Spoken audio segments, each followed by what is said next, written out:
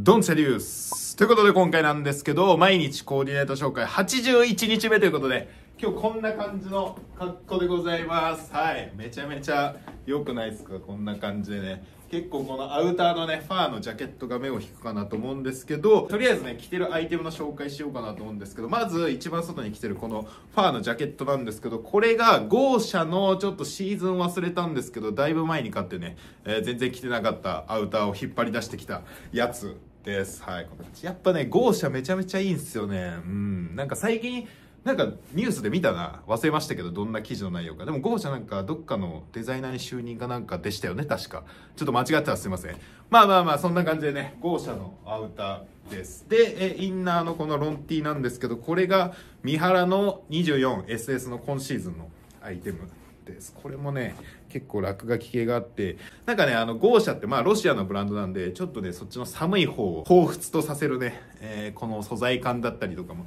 ありつつ、なんかあの、ロシアとかって結構 SF 寄りなね、イメージもあるんですけど、個人的には。なんかそれと、このね、中のね、えー宇宙人とか、えー UFO とかそっち系のところとあとは People have the power っていうねこのメッセージのなんか反骨精神みたいなところもなんかロシアの国柄じゃないですけどなんかイメージですけどね、えーなんかそれとマッチしてる感じがしてトップスのね、えこの合わせめっちゃ気に入ってますね個人的には。めっちゃいい感じじゃないですか。はいこういう感じ。です。で、えーデニムなんですけどこれ最近めちゃめちゃ履いてる神谷の 23AW のに登場したんですけど、まあ、一応定番のデニムです。アシンメトリーのねデニムです。で、えー靴なんですけど靴が今日はね、えー今日もかな。三原のこれはエアフォースワンタイプのね、えモデルです。イエローとブラックのものです。であとアクセサリーなんですけどネックレスとあとは指ですね、まあ、この辺はねめっちゃいつも固定なんですけどあブレスレット。この辺はね全部ファイナルコールのもの。で、えー逆側がねこれがサリバンの 24SS の骨モチーフの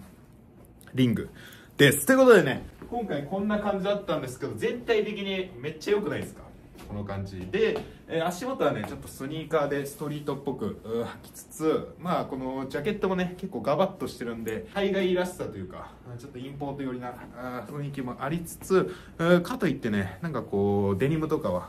ドメスティックの雰囲気もあってめちゃめちゃいい感じなスタイリングが組めた気がします。なんかね僕らしいっすねこれ。うん。あと個人的にはねこのロンティーの袖をねえーアウターからちょっと出してなんかこうレイヤード感をちょっと出すことでなんかねこう不気味な感じも若干ありつつあとはこの動いた時にねファーのやつが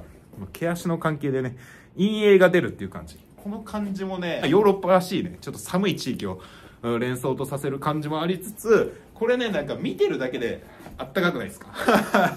見てる人をもね温めてしまうアウターっていう感じでねめちゃめちゃ気に入ってます。ということでね、えー感想とかありましたらコメント欄までお待ちしてます。はいそんな感じでした。また。